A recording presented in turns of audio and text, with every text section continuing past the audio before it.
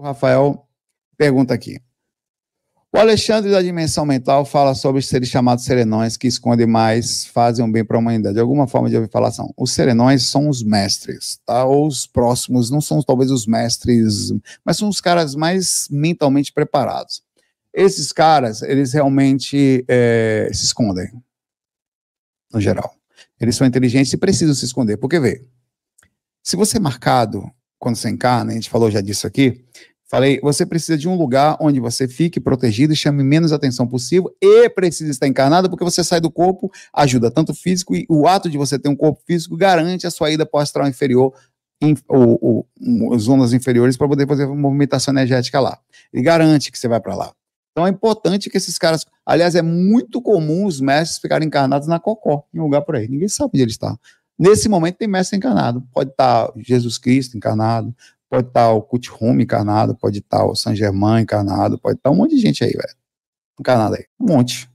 Os grandes seres realmente de conselho. O Gautama, que acho que não está mais no planeta Terra, não. Saiu daqui já.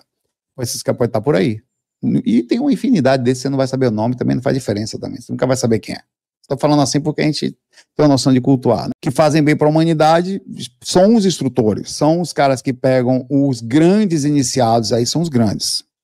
Tem o Zé Cu, os iniciados e os auto-iniciados. Esses mestres, eles são os, digamos, os, os planejadores dos grupos karmas maiores, o que eles pegam os grandes, os altos iniciados, transferem informação, porque deles já é possível, eles já não caem mais tanto nos assédios, então já é possível levar responsabilidade para eles, porque não, ah, não pode colocar um peso nas costas de uma pessoa que não vai conseguir carregar. Aí você fala, Jesus me deu um trabalho. Rapaz, se Jesus aparecesse para você, Kutchum aparecesse para você, de verdade. É mais fácil você ir até um lugar mais alto e lá você vê ele. Se ele vier até aqui e aparecer na sua frente, você fica marcado, meu pai. Vão achar que o que, que, que o Kutihume quer com aquela pessoa?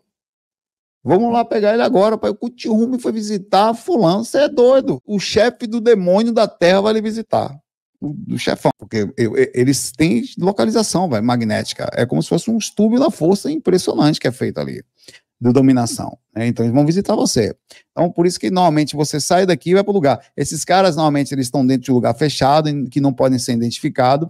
Você sai do corpo, vai até essa localização, eles instruem, passam informação, às vezes fazem informação de um origem mental altíssimo. Você sabia que existe uma, uma, um, um envio de informação mental para toda a Terra? Algumas pessoas captam.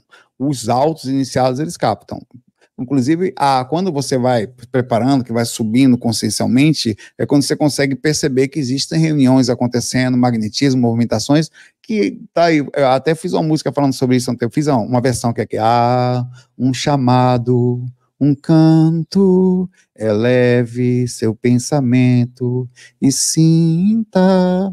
Quer dizer, existe os auto-iniciados jogam informações para a galera um pouquinho menor que os iniciados recebem e começam a difundir as informações, como que elas devem chegar, o trabalho que deve ser feito, que tipo de informação deve ser focada, como ela deve ser, a utilização dos recursos atuais, que é através da área da comunicação da internet, para jogar informação, para fazer com que a coisa aconteça. Essa galera linha de frente que vai lá, bota o peito lá para acontecer. O cuidado que eles têm para que esses caras não caiam é uma proteção etada. Olha, vou dizer para você, dos 10 iniciados, 7 caem três titubeiam até a encarnação toda, fica balançando a encarnação toda, assim, balançando, tomando pancada da encarnação inteira, ele vai apanhando, apanha do começo ao fim. Véio. É muito ajudado, tem, já tem a movimentação da luz perto, tem os mentores, tem a proteção, mas são o tempo todo apanhando do começo ao fim. Não existe.